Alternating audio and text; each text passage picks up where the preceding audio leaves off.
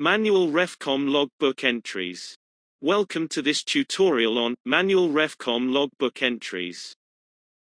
Select the job you wish to add a manual entry for. Go to the RefCom logbook screen, as shown. Here you can manually add addition, recorder removal and recorder correction, as shown here.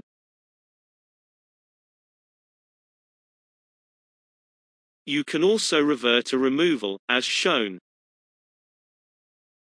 Thank you for watching this tutorial.